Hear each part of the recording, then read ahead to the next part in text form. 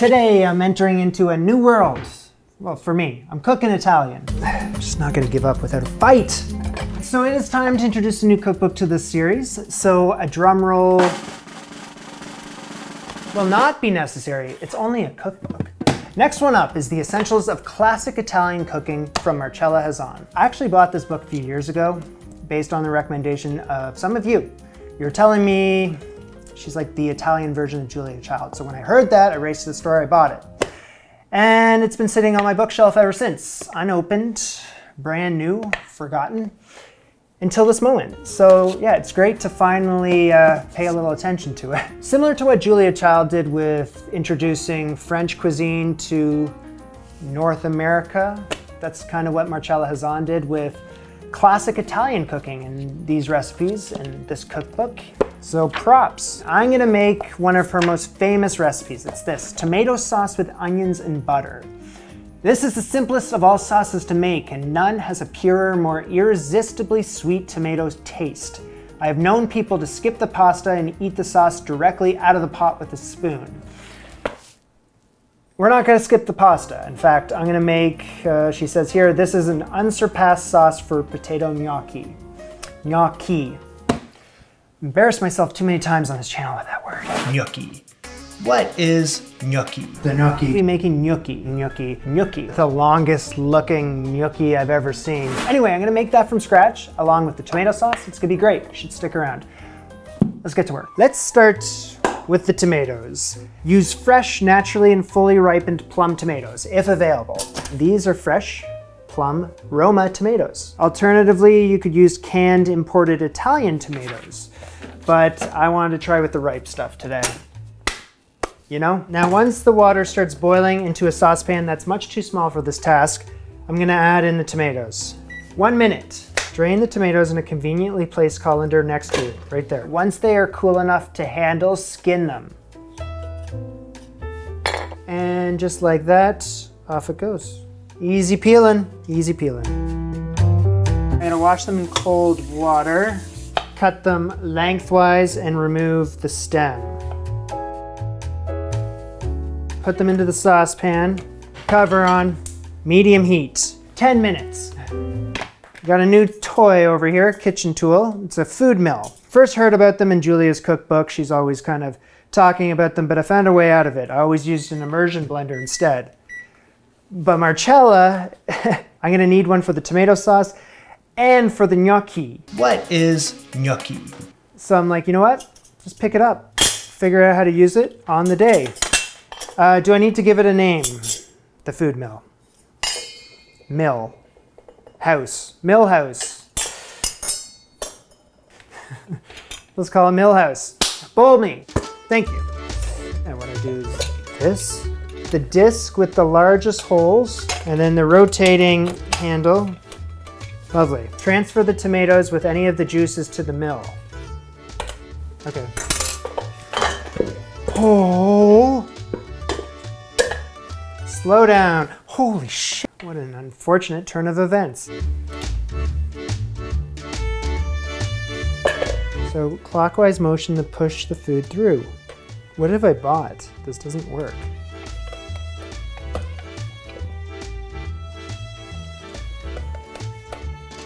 Don't know how to use a food mill. I thought this would be the easiest thing in the world to use, but evidently I am uh, a bit slow. I'm sure everyone already knew that. With the disc with the largest holes, the thing is the seeds are going through the holes. I don't know if I want the seeds in my tomato sauce. I'm gonna pick one where the seeds do not go through it. If that's the wrong call, then I'm so sorry. So apparently clockwise is the way to do it. I think it's working. Holy cow, I think it's working. Is it working? Go clockwise, and if it's not going through, then I go counterclockwise to loosen it, and then I go clockwise. Let's keep it going, Millhouse, let's do it. Before anyone tells me that you don't have to peel the tomatoes before you pass them through the food mill. I know that. Probably just do this over the pot that I'm gonna cook the tomato sauce in. But um, yeah, I just wanna crawl before I can walk. Thank you very much. This is, thing is just, honestly, this thing is just a lot of work. I'm choosing to grab some of these tomato pieces that didn't make their way through and yeah, there'll be a couple seeds in my sauce, just a few, but not as many as there was gonna be. Chop roughly So I got a yellow onion. Peel it up. You'd probably think, well, maybe you should dice it up, mince it up. No, actually. All I'm doing is splitting it in half. One medium onion peeled and cut in half. That's it. In the saucepan, five tablespoons of butter. The onion, just add the onion. And then salt, but she doesn't tell me how much, so just to, uh, to your liking, to taste. So bring it over here into a slow but a slow but steady simmer, uncovered for 45 minutes. But I'll keep watching it and whatnot, you know, stirring it from time to time, mashing any large pieces of tomato in the pan with the back of a wooden spoon. I'll do all of that.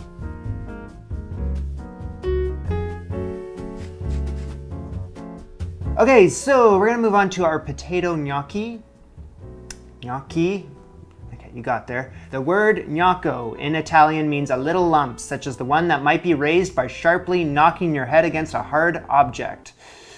I'm not gonna do that. Gastronomically speaking, however, gnocchi should be anything but lumpish. The essential characteristic of well-made gnocchi is that it be fluffy and light, and the potato choice for this is critical. It's not a baking potato, we need a boiling potato, something that's waxy. These are Yukon Gold potatoes, waxy. Get the big old Dutch oven back in the house, fill it up with water. The water's boiling, I'm gonna drop in the potatoes and I'm gonna cook these until they're tender. After 20 minutes, let's remove these patatskis. While the potatoes are still hot, uh, I gotta peel the skin. And it's easy peeling, just like the tomatoes. Okay, so here comes Millhouse. Thank you. And yeah, we're gonna puree these potatoes while they're still warm. All right, this works great. Keep it going. Okay, I'm getting the hang of this thing. Here, add another potato. Remember the first time I ever made gnocchi uh, was like, I don't know, five years ago on this channel. I was mashing the potatoes with a little fork and my finished product had all these little potato chunks in it. The recipe actually said that if I had a ricer, I would I would put the potatoes through the ricer, but since I don't have a ricer, I figured I could just mash them.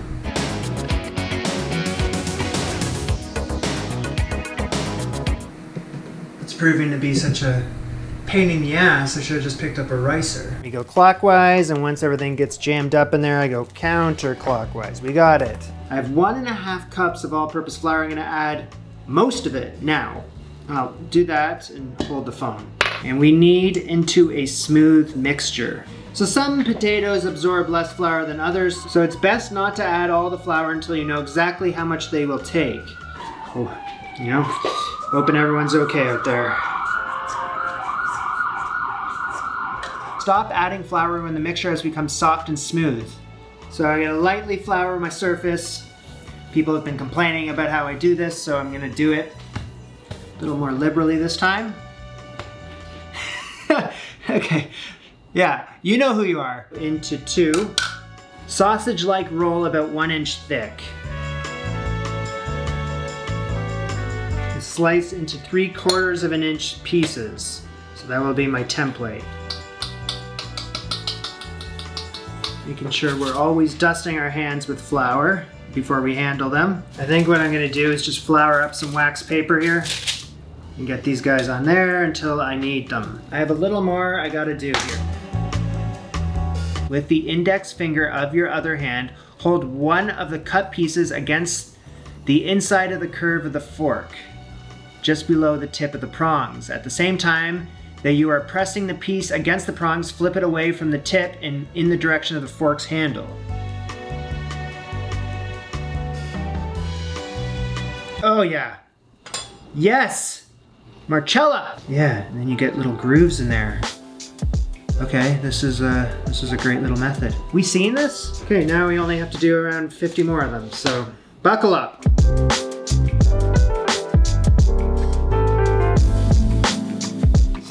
Okay, I think I got the hang of this. I take my dumpling here and with the index finger only, I just kind of move it along the fork. Each time I was shaping one of these, uh, it would have been better than the one I did prior, so it is just improving. Never give up. Would you please join me over at the stove? Let's do it. It's go time. All right, let's switch topics here to the sauce. I had this on a low heat for a while now while I was while I was fiddling around with the gnocchi. I found it very watery at the start, but it has reduced down to something glorious. And I've been checking seasoning on it, you know, here and there adding a little salt if it needs it, just like a little bit, but not too much because it's absolutely perfect. More on that later, but let's just put this aside. So I have this pot of boiling water that I've prepped in advance generously salt up this water. Take a couple of my ugliest ones and I'm gonna drop them in. I'm gonna leave them in there until they start floating to the surface and then I wait 10 seconds. If they're too floury, which they may have been, question, that means I gotta add two to three seconds onto that 10 seconds after they've risen to the surface. Capiche? So I forgot to mention that the last time I made gnocchi was uh, a Julia Child recipe that I did not very much enjoy. It was very confusing. They gotta swell up and like double in size. No.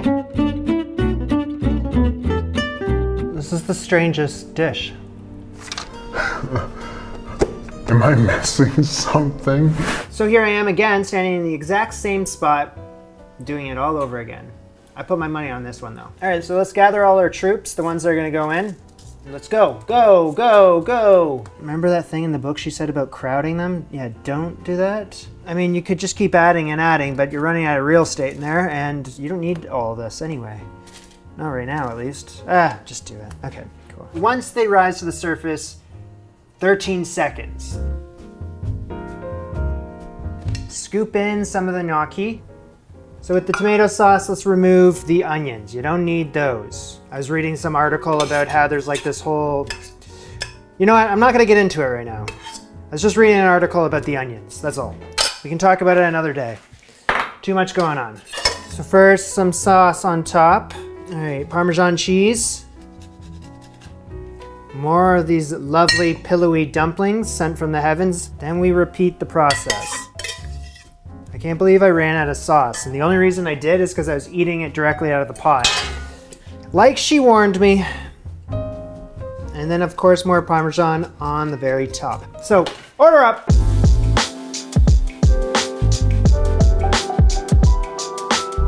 Turn them rapidly with a spoon to coat them well. That's the last thing you gotta do.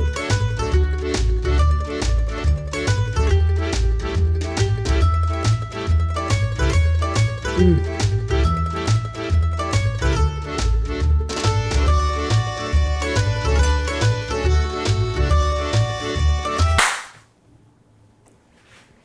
Almost kicked the liquor cabinet. But I didn't, because that's the power of this dish. That is the best tomato sauce I've ever had in my entire life. okay, I mean, it's the best tomato sauce I've ever made myself. I don't know, I don't, I don't go around comparing tomato sauces all throughout my life. I would say that's the best one I've ever made. For so few ingredients, that tomato sauce packs a mean punch. Tomatoes are front and center, uh, just like an intense flavor of tomatoes. It's just beautiful. The sweetness, it's seasoned nicely, it's tangy.